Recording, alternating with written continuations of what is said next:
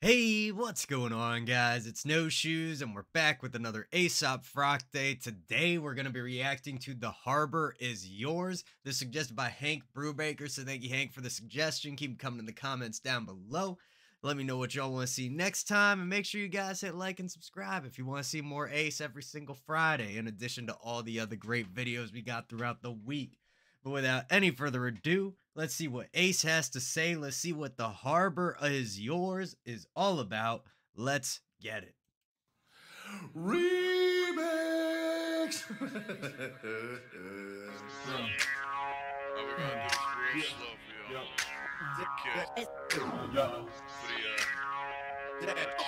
Oh, we're gonna do this real slow for y'all. Okay. For the, throw your babies in the air. Dead men tell no tales. Uh-huh. Up, push the daisies till the soil is stale. And the powder blue tops fill the former sail. Mr. Here we Big go. with the carpet can. Look, once upon a time in the Okay. Very unique feel coming in. Having just like the snapping, having those kind of like remixed vocal samples, and then Ace coming in over top of it, really providing the only structure beyond that snap. The remix sample very at the beginning. You gotta let me know in the comments. Is this track made from a remix? Is that just for fun inflection? I don't know. I like it. But uh what does it mean? I'm not sure. But let's see how this drop hits. Tales. Up, push the daisies till the soil is stale. And the powder blue tops fill the former sail. Mr. Here Big we go. with the carpet can. Look, once upon a time in the days of yore, when the people lived fresh had a legend and folklore. There was an old pirate who piloted a vile slang, had a bird perch on him to swashbuckle the same. Peg leg, navigate him starboard to port. Nice storytelling type of feel. Great flow. Kind of reminds me of Long Legged Larry, which is actually the first Ace track I ever heard. Love the sound of the guitar. Great feel to the beat so far. Had a bird perch on him swashbuckle the same. Peg leg, navigate starboard to port. By the nautical starring nail in the harbor is yours. You should tell him where you sit. Okay, swashbuckle in, starboard to port. The harbor is yours. Getting some like pirate esque, water based rhymes. Makes sense with the title of the track.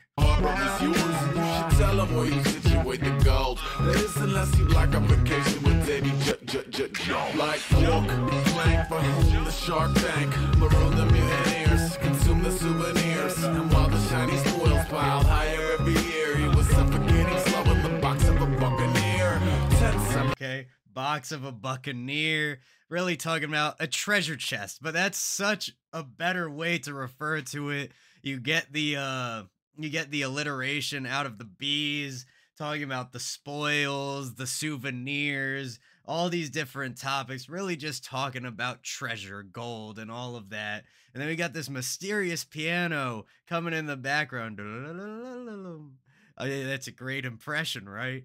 But but re- regardless, the layers they're building, just as Ace pretty much always has, and it adds a great element. Higher every year,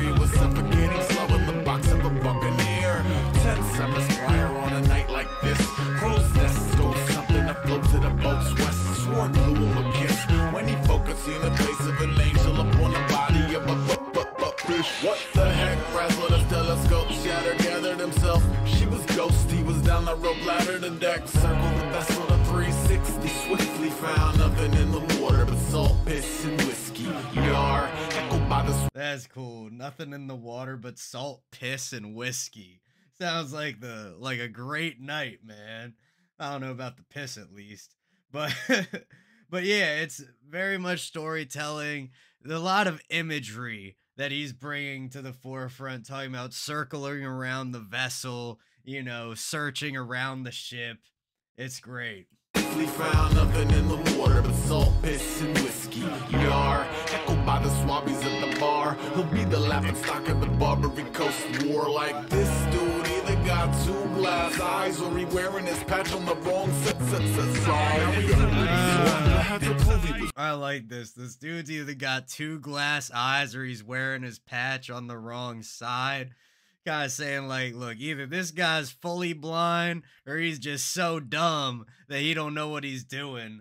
But then it reminds me of Mythbusters where they talked about the eye patch wasn't actually about missing eyes. It was about pirates having one eye that was used to darkness. So that way when they would go under um, you know, inside the boat, they could flip it up and they would already be like halfway adjusted to darkness.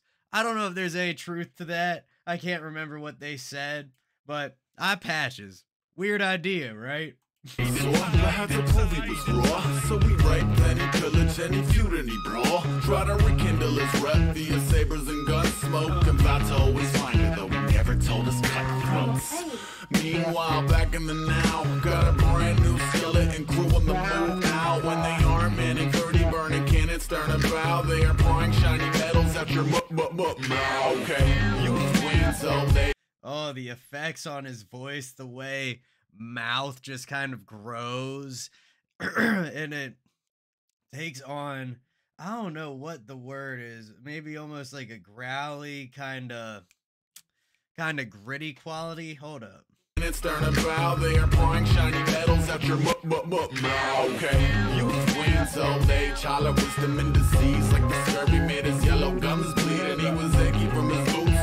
feather in his hat till his quartermaster showed up with a stolen treasure map. One look down and left. Yeah, this is cool. You know, the captain, his quartermaster shows up with the treasure map. He's out on the water with the new crew he was saying a second ago. Just a great idea, man. Why not have a song about being a pirate? And what would what would you do if you were a pirate? And uh, you'd be looking for treasure. You'd be hiding your gold. You'd be looking for more. You'd be out on the sea. It's uh it, it, it's a really cool idea. Completely unexpected, but I'm a fan of it, man. One look down and left off the dock. See if you can guess where X marked the spot. The capital was buried at sea in a cursed cave. Only one mile from where we seen the merp, merp, merp. Anchors up, push the Jolly Roger. But see, the vitamin deficiency was strong. So by the time they bumped into the island. And now we got like a horn type of sound coming in at the bottom, taking up a little bit of that bassy space in the track. Hold up. With his hook hands raised and clutched, but see the vitamin deficiency was strong. So by the time they bumped into the island, he could barely lift his grog. Off the boat, collapsed in the sand. Prayers in the air, seashells in his hand. An area high tide so grand is the one that put the. And then that's a great way to kind of juxtapose things. Hold up. I think he said prayers in the air, hands in the air, seashells in the sand. Kind of giving us the as above and the so below of it all. What are what's at the top and what's at the bottom of this chain here?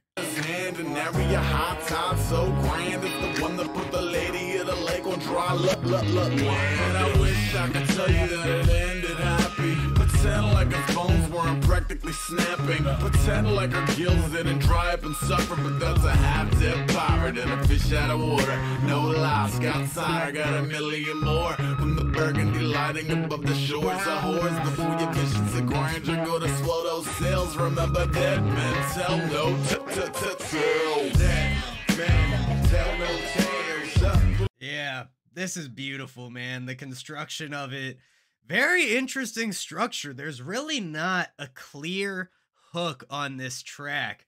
There was a section just about the middle that I took to be a hook of sorts. Now I'm realizing it was more of a bridge that we had a vocal going over. It's kind of feels like it's split up into about two verses. Maybe that'll change once I take a look at the structure of this later on. But um but great feel to it. The evolution of the beat, it really almost feels like water. There's like this slight rock back and forth, almost like a slosh to the flow and the way the emphasis shifts and the way these instruments come in and out and build on each other. But there's so many layers going on. Everything is mixed clearly. You can hear his voice out above everything else. And it's just beautifully done. Tell no t- t- t- tell. That man, tell no tales. Up, push the daisies till the soil is stale. And the powder blue touch for the former sale. Mr. Big Sleep with the coffin kale. Tell no tales. Tell, tell, tell no tales. And then the scratched vocals must be one of my favorite things on any track. Sometimes I can't tell like in the in the section where he said it's the mermaid or however he phrased that exactly if that's something he actually did with his mouth or if that's something that was done later in the production process using, you know, a plugin and his voice as a sample.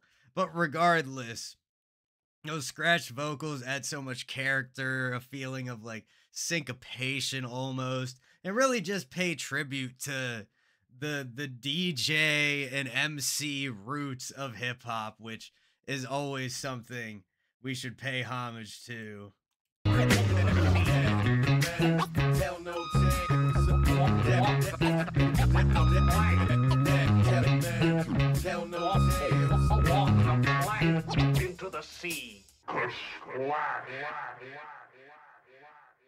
Nice. And then it kind of just bounces off into the distance. But that was The Harbor Is Yours from Aesop Rock.